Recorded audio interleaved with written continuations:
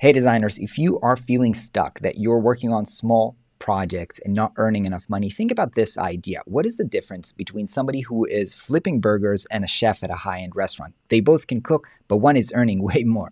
Now, there's two key differences. One is the ingredients that they're using. One is using cheap frozen ingredients while the other one is using fresh organic ingredients. Now, your ingredients as a designer are the typefaces that you're working on, your imagery and templates.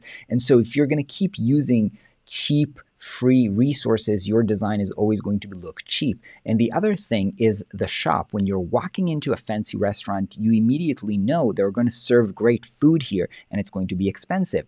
And so your shop is actually your website. So does your website set the right expectation that great design is going to be served here and it's going to be expensive? Think about that and follow and like this for more design advice.